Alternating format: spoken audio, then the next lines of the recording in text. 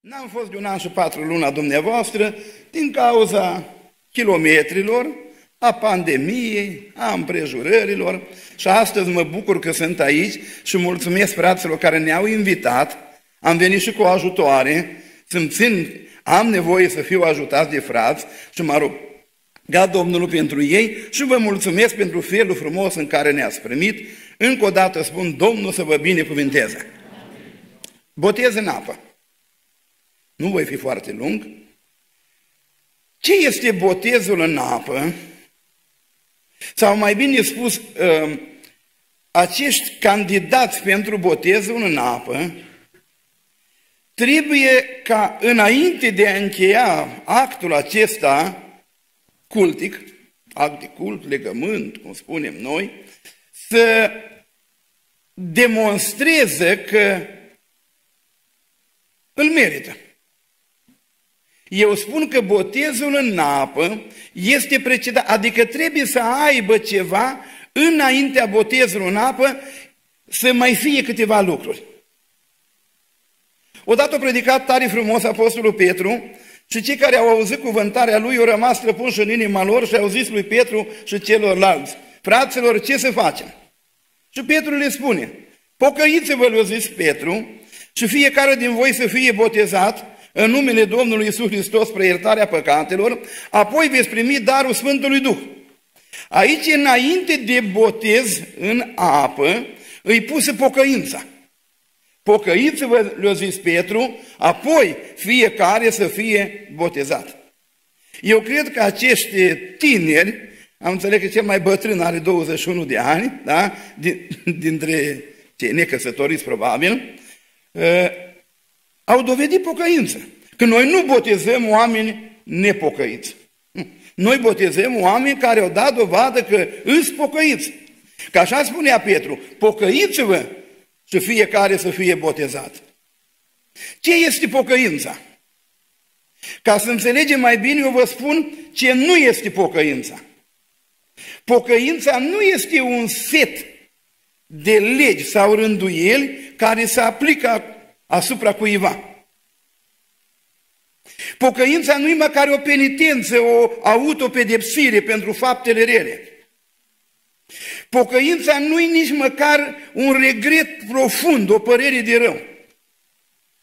Dar toate astea fac parte din pocăință. Deci pocăința are și ceva dintr-un set de legi și rânduieli. Dar numai uh, legile astea nu reprezintă pocăință. La mine acasă, ca să funcționeze bine familia, avem niște rânduieli care sunt puse. De la ora deșteptării până la ora când ne culcăm. De la felul cum stăm la masă până la felul cum ne îmbrăcăm, cum vorbim. Sunt niște rânduieli care le impun celor din casă. Ei le respectă, dar nu am garanția că sunt pocăiți pentru asta. Dar pocăința are și ceva din asta. Spuneam că pocăința nu e o penitență, adică mă autopedepsesc, am o disciplinare impusă de mine pentru unele fapte reprobabile care le-am făcut. Nu. Dar pocăința are și asta. Pocăința are și uh, un regret, dacă vreți. Dar nu-i numai părere de rău, că am văzut oameni care la un moment dat au fost cercetați. Poate chiar numai sentimental, la o cântare, la o predică, plângeau, domnule, așa mă uitam la ei, domnule, ăsta om nu se poate să nu se pocăiască. Dar ei au continuat să păcătuiască mai departe. Ori faptul că am plâns odată la o cântare nu înseamnă că m-am pocăit, nu? Odată faptul că l-am fost cercetat la o predică nu înseamnă că m-am pocăit. Pocăința are ceva din regret, din părere de rău. Pocăința are ceva din penitență, din disciplinarea noastră personală. Pocăința are ceva dintr-un set de legi care trebuie respectat, dar mai are ceva în plus. Și toate la un loc se cheamă pocăință. Pocăința, de fapt, este o hotărâre interioară, o decizie lăuntrică pe care o ia omul. Când Duhul lui Dumnezeu cercetează pe om, omul ia o hotărâre lăuntrică care în mod obligatoriu trebuie exprimată în afară. În Vechiul Testament, de regulă, pocăința avea de a face ceva cu faptele. Când evreilor li se spunea să se pocăiască, ei știau ce trebuie să facă. În Noul Testament se pare că pocăința în Roman 12 cu 2. Să nu vă potriviți chipul veacului acestuia, ci să vă prefaceți prin înnoirea minții voastre ca să puteți deosebi bine voia lui Dumnezeu, cea sfântă, plăcută și desăvârșită.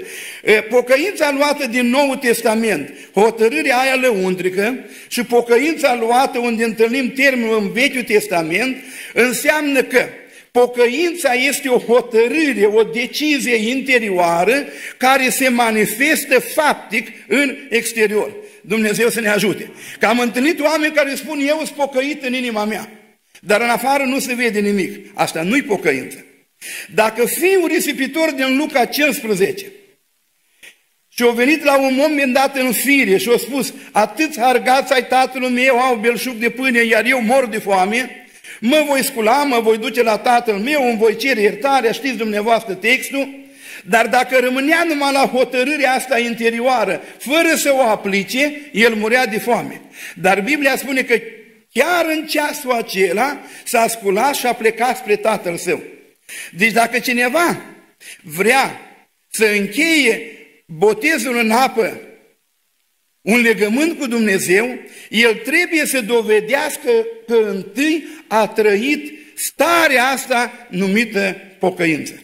Că pocăința uh, se poate demonstra Domnul uh, Ioan Botezătorul spunea în Matei 3 cu 8 parcă, faceți întâi roade. Deci pocăința trebuie demonstrată în fiecare zi prin faptele noastre, care se cheamă roade de pocăință.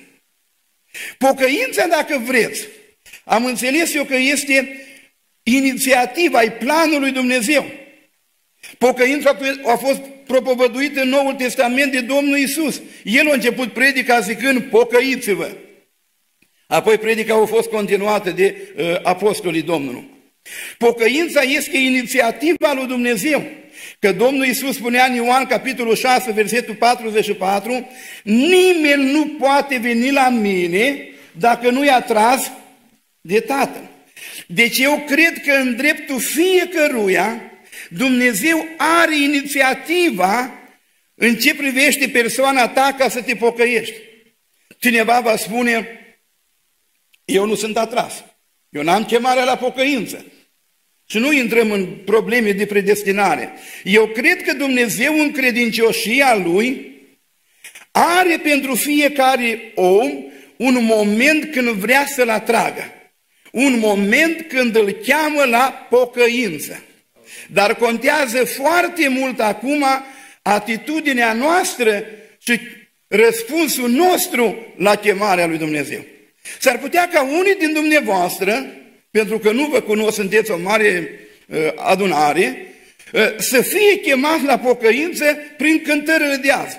Și printr-o cântare, Domnul vrea să te atragă.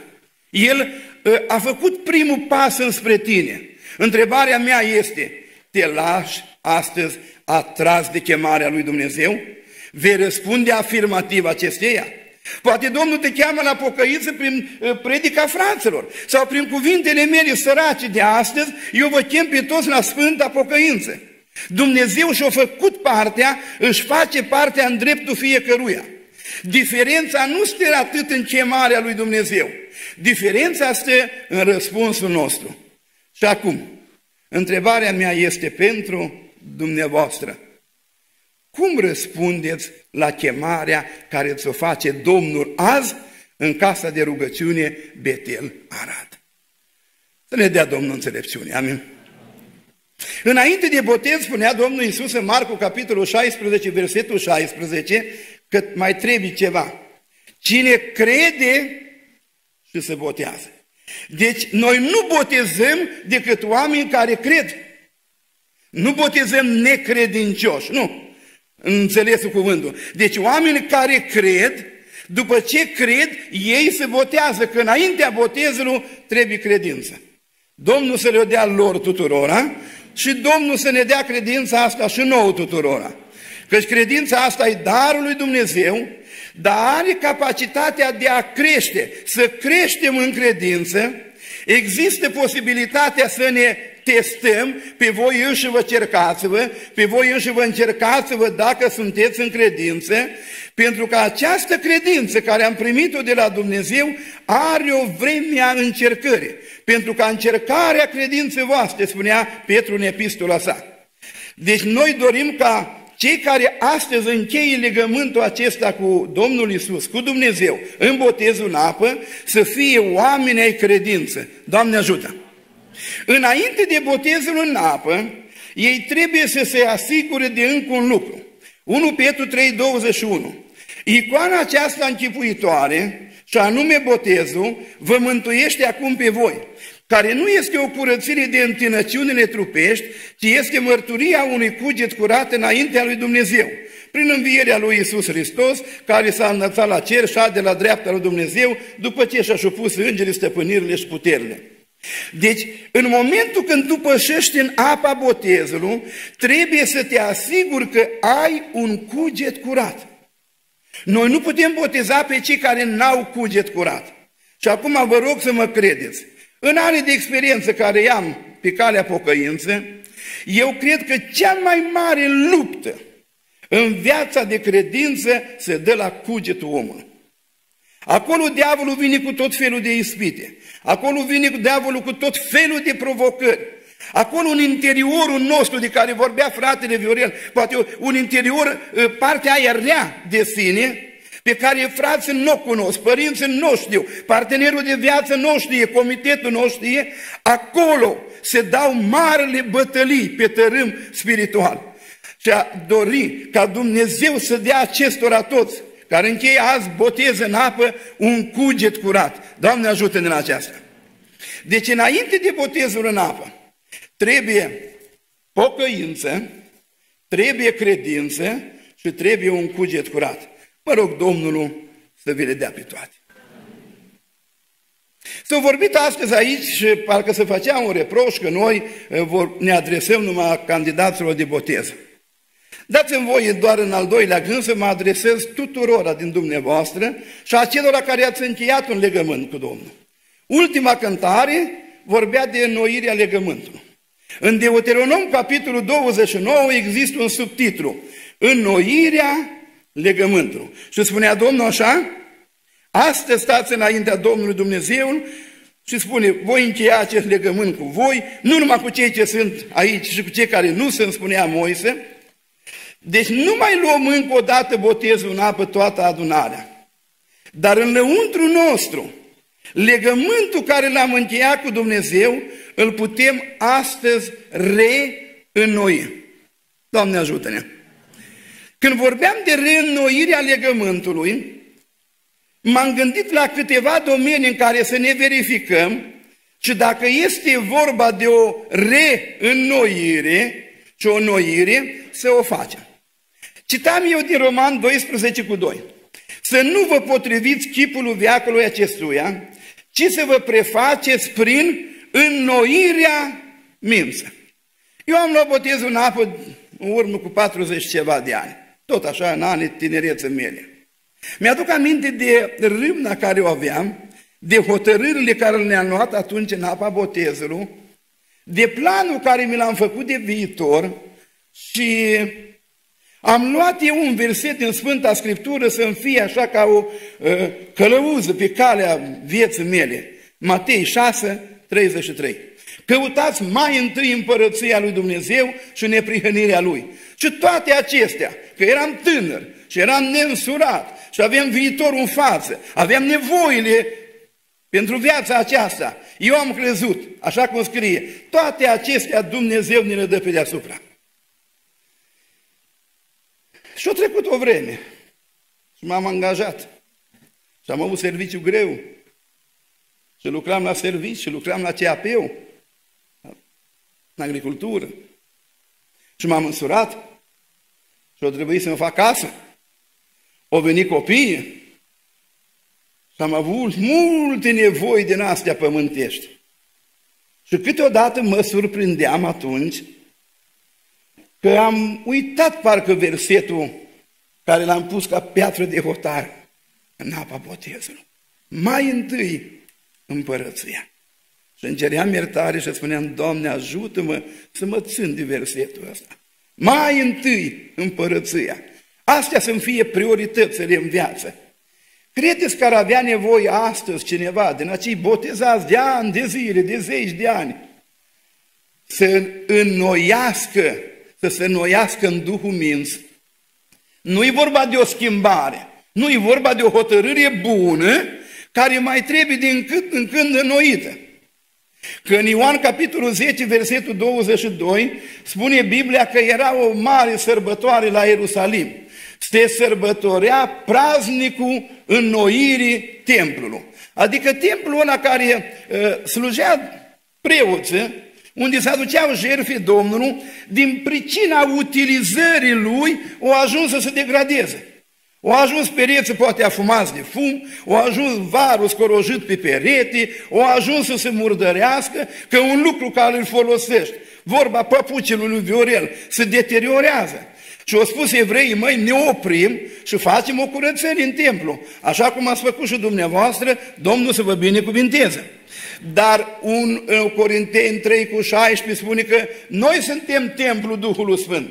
Și câteodată mă opresc în viața mea, mă uit și trebuie câte o renovare, trebuie câte o curățenie, trebuie câte o noire. Nu că ar fi fost rele acelea, tot pe culoarea aceea, tot pe arhitectura aceea, tot pe hotărârile acelea, astăzi îmi înnoiesc legământul. Astăzi mă înnoiesc în Duhul Mință și acum în ani când încep să spun că îmbătrânesc, spun, Doamne, fă ca versetul ăsta.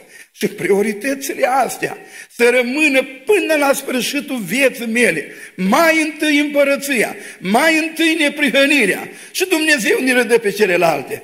Vrea careva să, să înnoiască în Duhul mință? Și să-și aducă aminte de planurile bune când a stat în apa botezului. Și Dumnezeu să ne ajute, amin? Parcă în Filipeni 4 cu 10 spunea Apostolul Pavel, am avut o mare bucurie că în sfârșit v-ați înnoit simțămintele voastre față de mine. Vă gândeați voi la așa ceva, dar vă lipsea prânejul. Dacă ne-am înnoit mintea, hai să mai înnoim și inima. Că e vorba de simțăminte, e vorba de sentimente. Să iubești pe Domnul Dumnezeu tău din toată inima ta, din toată puterea ta, din tot cugetul tău. Asta, ăsta era sentimentul meu principal când am început să-L caut pe Dumnezeu, cu câtă râvnă, cu post, cu rugăciune, cu stăruinți, cu misiune făcută pe trenuri, în condiții primejdioase, cu, cu declarații date la poliție, la securitate și spuneam, nu, domne, eu îl iubesc pe Dumnezeu din toată inima. Și a trecut vreme. Și mi s-a părut că am împărțit iubirea asta. Și în loc să-L iubesc numai pe Dumnezeu, vai câte lucruri mi-am început să iubim. Nu vorbesc de ce acuza Ioan când spunea nu iubiți lumea, nici lucrurile din lume. Dar și asta câteodată s-a strecurat în inima noastră și ne-a furat sentimentele. Am îndreptat iubirea spre alții. Eu socotesc că e bine să înnoim astăzi simțămintele și iubirea noastră față de Dumnezeu. De ce nu față de partenerul de viață? Căruia ei jura credință și dragoste acum 30 și ceva de ani, eu 35 de ani, poate alții înaintea mea, și ne-am uzat ne-am tocit parcă sentimentele, o a devenit o rutină toată viața noastră și nu-i mai scânteie aceea. Seară mă sună se, nevasta, eram cu frații și spune, ieși din cameră că vreau să spun ceva. E singur? De hai, am ieșit. Ce vrei să spun? Te iubesc. Ce te-o apucat, mă, nevastă, măi? Ce te-o apucat, mă, de... Am treabă cu frață. Și o încep tări, dar ce nu-i bine? Hai mă că îmbătrânim și ce facem cu dragostea asta? Măi, oameni buni, de zeci de ani ne-am jurat credință și iubire și ne-am am intrat într-o rutină așa, le facem toate din mers. N-ar fi bine să ne mai înnoim simțămintele, dar cu dragostea față de frați. Când am venit la adunare, spunea un frate, mă, așa îi vedeam ca îngeri pe toți. Ei, acum mi-am mai schimbat părerea. Și am întrebat, dar de ce, frate Ghiță? Nu tot frața aceea, tot jertfa aceea, tot cântările aceea, tot direcția aceea o avem. De ce am pierdut din dragostea noastră față de frați? Că Domnul spunea în Ioan capitolul 13, spunea despre Domnul, care știa că i-a venit clipa să plece din lumea asta și pentru că i-a iubit pe ai săi, i-a iubit până la capă. Să ne ajute Domnul, amin? Când vorbim de înnoirea legământului, am întâlnit în domeniu înnoirea mință, înnoirea inimii, că Efesul pentru asta a fost mustrat, că tocmai își părăsise dragostea din tâi. Fraților, hai să iubim iară pe Domnul ca la început. Să iubim adunarea, să iubim părtășia, să iubim postul, să iubim rugăciunea. Dumnezeu să ne ajute, amin? Apoi Tit spunea în capitolul 3 cu 5, El ne-a mântuit nu pentru faptele noastre făcute în neprihănire, ci prin spălarea nașterii din nou și înnoirea făcută de Duhul Sfânt. În domeniul duhovnicesc n-ar trebui să avem o înnoire. Acei care vorbeau altă dată în limbi și cântau în alte limbi. Eu sunt pentecostal. De câtă vreme n-ai avut bucuria asta exprimată prin Duhul Sfânt în rugăciune? Aceia care ați avut trâmbița lui Dumnezeu și ați prorocit, și poate una le-a urginit trâmbițele, că le-au așezat jos și nu mai vor să, să sune la porunca lui Dumnezeu. N-ar trebui o noire? Altădată aveai cuvânt de cunoștință, aveai visă de la Domnul, aveai vedenie. Pe mine m-am cercetat și am spus, Doamne, aveam o cunoștință în trecut, așa intram într-o adunare, Domnul mi-a dat persoane, de ce nu mai am? Am stat în poste rugăciune, Doamne, trebuie să mă noiesc în domeniul ăsta, în noirea făcută de Duhul Sfânt, în domeniul duhovnicesc, n-ar trebui să ne înnoim? Dumnezeu să ne ajute, amin? Frații mei, timpul trece, lucrări mai sunt. Doresc ca Domnul să vă binecuvinteze. Vă vă spun, înainte de botez în apă, pocăință credință și cuget curat. Spuneți amin? Iar nouă, celor care am încheiat legământ cu Domnul de mult, hai să ne noim astăzi legământul ăsta. Ca în Isaia 40 cu 31 vorbea de înnoirea puterii. Când ne înnoim în Duhul mință, când ne înnoim sentimentele, simțămintele noastre și când ne înnoim în domeniul ăsta duhovnicesc al lucrării Duhului Sfânt, ni se înnoiește puterea. Vom alerga și nu vom obosi. Vom zbura ca vulturi, că Domnul ne va da putere. Amin.